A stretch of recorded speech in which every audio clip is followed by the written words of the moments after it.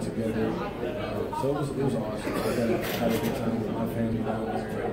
It was just a great experience. And, uh, it was great to get back to a game. And y'all held them to a lot of field goals. I mean, when you, when you look back on that game, are you proud of the way that you handled it? Oh yeah, absolutely. I think you know it was uh, definitely overwhelming for some guys, and you know the way that the team controls the clock, it's, it's, it's really tough. Um, but you know we don't have to make any excuses. You know we, we didn't win the game, but you know, we got to where we got to. We got to the bowl game, and uh, we just get to continue to build off of that. To another one. Courtney, did you reach out to Matt Elam at all yesterday after the comments? Absolutely. As soon as I seen you know that message, that video, I sent it right to him, and uh, you know, and that's all I, we had to do. You know, um, I think Matt's to respond. Um, like I said earlier to some guys, and I think that's a direct correlation on you know the defense, and that's on me. I think that's on me as a leader. Um, I think that uh, you know, Matt's to be that's to be great this year. The spring, really busted his butt. Um, our defense definitely yeah. we've been busting our butt. This summer we've been busting our butt. So, you know, like I said, it's a direct correlation. Me as a team leader, as a defensive leader, and uh, you know, obviously Matt's going to do what he has to do to you know get that for himself individually. But um, I think you're definitely going to respond, and uh, our defense is going to respond. I think we played really well last year. Um, we just want to build off of that.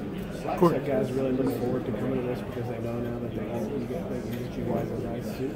Absolutely. And, and you outgrew yours last year, so you have two, two now. Oh yeah, it's, it's, it's awesome. Uh, you know, they, they set us up really nice over at uh, Dillard's, and um, you know, it's, it's awesome. Uh, just getting a suit. I don't, I've never really been into dressing up. Ever since last year coming here, I've been trying to dress up a little bit. I got a little internship I've been doing this summer. I started dressing up a little bit nicer just coming here. It's, awesome. It's a very nice suit. Just uh, come out and enjoy the day. Make you walk a little taller when you're in a tailored oh, suit you know, the pockets square. Definitely does. Yeah, Back to the Georgia Tech game real quick. Sorry we've been asked this already. Um, how much were defensive players worried about the cut blocking style of Georgia Tech offensively? I don't think we were necessarily just worried about it. We just did not want to get cut. Uh, you know, because it's, it's tough. And I mean, the way they do it is just like they, they just dive right at your leg. It's not a, it's not a real cut. It's like they're off the tackle. So that was tough. But uh, you know, we learn from it, and uh, we, we, do a lot more drill work.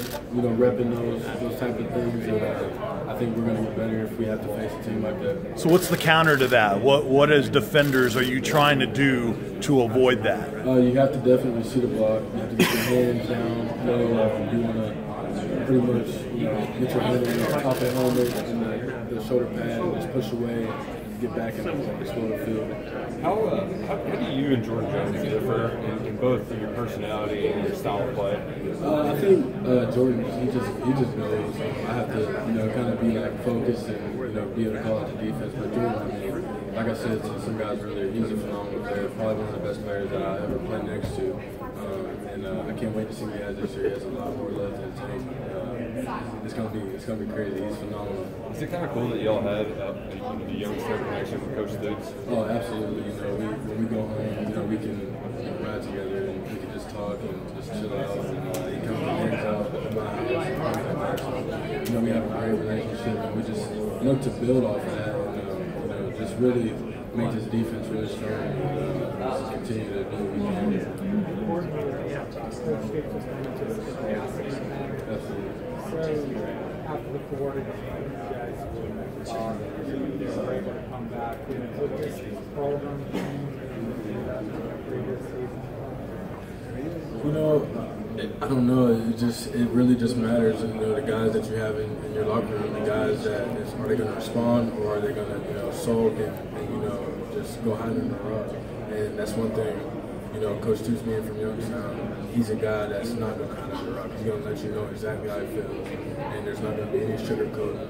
You know, it's, it's straightforward with him, and I think, you know, with you know uh, guys that we have now, you know, on our team, you know, like Denzil Ware, Josh Allen, uh, Naquez Pringle, Jordan, um, Mike, you know, Steven, um, I can I can name defense and offense, guys who aren't going to put up with us, you know, taking a back seat, and we're not going to take a back seat. We're going to do everything that we can to be the best that we can. What did he say?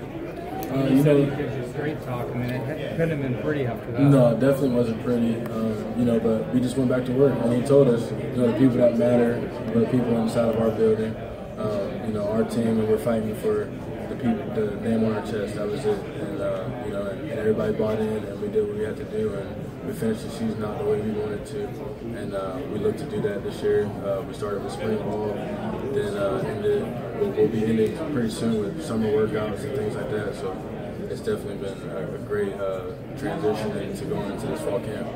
Who are some of the young guys in the offseason that have impressed you in workouts? Uh, definitely, um, I'd say uh, offensively, uh, Benny Snell. I mean, as a true freshman last year, he you know was lights out, and sometimes guys get a little bit complacent. Benny has not gotten complacent at all. Benny is in there more than any guy that I've seen, um, and he's in there trying to better his craft and you know continue to be what he was last season. And um, you know, uh, I would say on, on offense, him, and then uh, defensively, uh, we got some young guys that uh, I would say like uh, Josh Paschal, um, Jamin Davis, uh, Eli Brown are guys that are going to be awesome. Kash Daniel, who's behind me, he works his tail off day in and day out. He's going to be an awesome player, and uh, I just can't wait to see those guys play and uh, really see what they got as uh, when they grow up and be, become veterans on the team.